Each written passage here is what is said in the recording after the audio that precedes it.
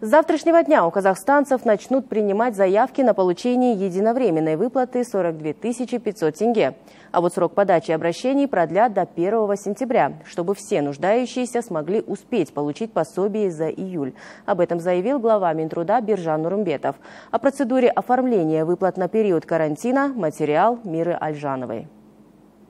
Выступая на брифинге с разъяснениями по выплатам, министр труда и соцзащиты населения озвучил список тех, кто действительно может рассчитывать на 42 500 тенге. Итак, это работники, оставшиеся без дохода на момент карантина, индивидуальные предприниматели, адвокаты, юристы, судоисполнители, а также лица, работающие на основании договоров по оказанию услуг и плательщики единого совокупного платежа. Те предприятия, руководители, работодатели, которые э, будут подавать заявления, я хочу э, предупредить, что для вас будет одно только условие.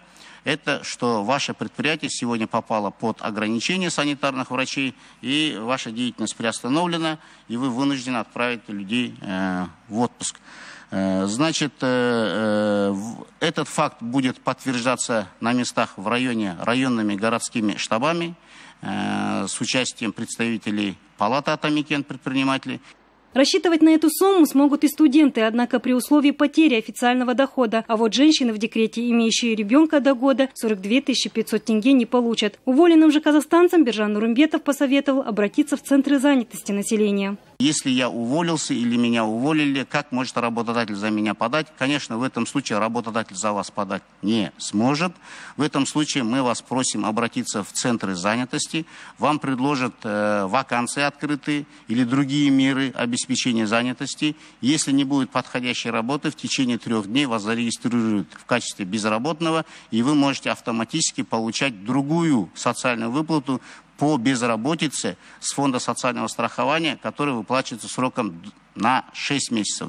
Министр также уточнил, что лица, не имеющие статус наемного работника, заявку могут подать через веб-портал электронного правительства egov.kz, портал 42500.imbec.kz, телеграм-бот электронного правительства и другие приложения.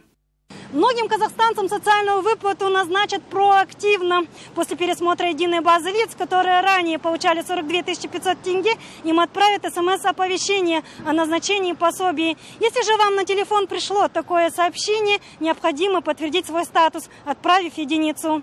Мира Альжанова, Нурлан Утигенов, телеканал Алматы, Нурсултан.